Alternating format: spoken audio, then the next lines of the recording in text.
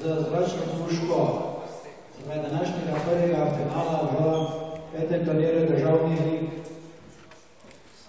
Na poziciji A, Mitja Černi, SD Gančani, 415,8 kroga v kvalifikacijah. Trenutno v ligi na tretjem mestu z doseženimi 85 točkami.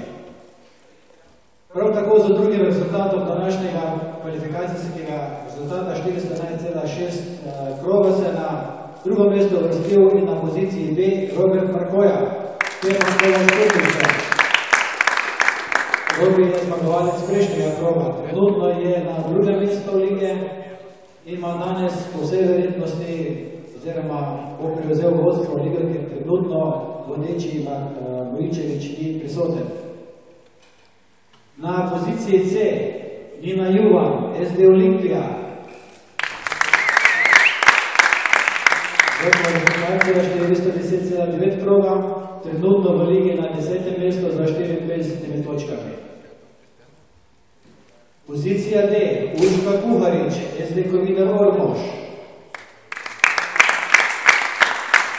Njegov rezultat je bil 410,3, trenutno v ligi na petem mestu za 80 točkami. Na poziciji E, Benjamin Jodl, SD Prvi Pohorski bataljon Ruše. 410 krogov, trenutno 14. mesto za 48 točkami velike. Pozicija F, Klaudija Jerovšek iz Brsupnja. 409,1 kroga v kvalifikacijah, trenutno 11. mesto v ligi in ima 50 točk doseženih. Na poziciji G, Tadej Horvat, Kovinar Ormož. 408,6 kroga v kvalifikacijah, trenutno 19. mesto in 29 točk.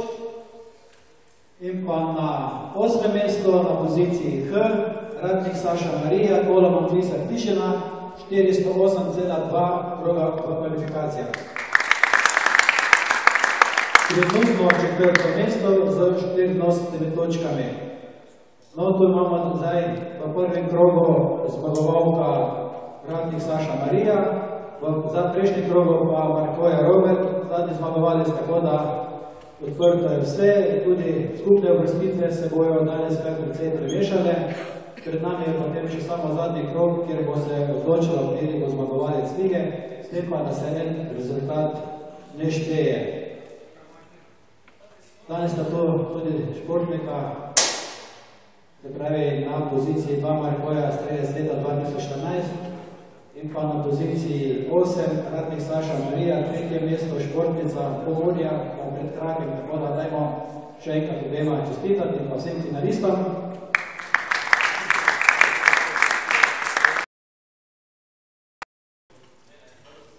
razlahujete svoje položaje